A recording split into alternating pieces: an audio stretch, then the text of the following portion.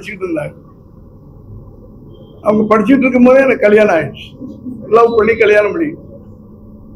ஆனா கல்யாணத்துக்கு பிறகும் அந்த மியூசிக் காலேஜை அவங்க கண்டினியூ பண்ண வச்சேன் அது மட்டும் இல்ல இன்னைக்கு வரைக்கும் அவங்க மியூசிக் கத்துட்டு வர்றாங்க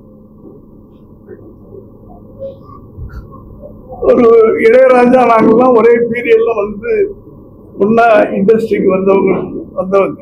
அதனால இளையராஜா கச்சேரியில அப்பதான் வந்து மாசத்துல முப்பது நாள்னா இருபத்தஞ்சு நாள் கச்சேரி இருக்கு. இருபத்தஞ்சு நாள் மேடைகள்ல பாடிட்டு இருப்பாங்க. விஜய் வந்து சோபா வயிற்றுல உருவான அந்த நாள்ல இருந்து ஒன்பது மாசம் கச்சேரியில பாடிட்டு இருப்பாங்க டெய்லி பாடுவாங்க. அதாவது அந்த கருவில் இருக்கிற குழந்தை தினம் அந்த மியூசிக்கை கேட்டுக்கிட்டே அது வளருது. பிறந்த பிறகு என்ன ஆகும்னா பிறந்த உடனே ஒரு ஒரு மாசம் ரெண்டு மாசம் ரெஸ்ட் எடுத்துட்டு திரும்பி பாட ஆரம்பிக்கிறாங்க.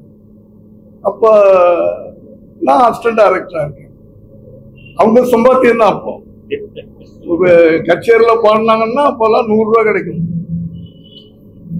இங்க எயிட்டிஸ்ல எல்லாம் செவன்டிஸ்ல எல்லாம் நூறு ரூபான்றது பெரிய விஷயம். அவங்க சம்பாத்தியம் தான் எனக்கு. அவங்க கச்சேரி பாடிக்கிட்டு இருப்பாங்க மேடையில. நான் விஜய் கையில வச்சுக்கிட்டு எதிர சோஃபால உட்காந்துக்கிட்டு ஆடியன்ஸ்ல உட்காந்துக்கிட்டு ஃபீடிங் பாட்டிலில் பால் கொடுத்துக்கிட்டு இருப்பேன். பாட்டை கேட்டுக்கிட்டு ஃபீடிங் பாட்டில் அவர் பால் குடிச்சுக்கிட்டு இருப்பார். இன்னைக்கு அவர் பாடுறாரு அப்படின்னு சொன்னால் யார்கிட்டையுமே கற்றுக்கல அந்த இசையை யார்கிட்டயுமே கத்துக்கல. கருவிலேயே கத்துக்கிட்டார். அந்த இசை அது. அப்படி என்னுடைய வாழ்க்கை அதே மாதிரி இந்த பள்ளியிலே படிக்கின்ற ஒவ்வொருவரும் இசையிலையும் நடனத்திலையும் இந்த கலையில பெரிய பெரிய ஆளுகளா வந்து கலைமாமணியாகவும் இன்னும் பெரிய பெரிய பேர் எடுக்கணும்னு உங்க எல்லாரையும் நான் வாழ்த்துறேன். நன்றி.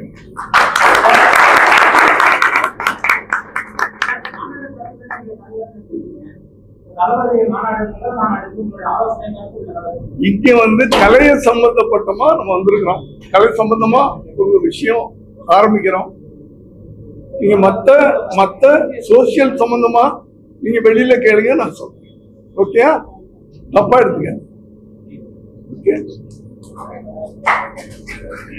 இங்க இந்த பள்ளி சம்பந்தமா ஆ?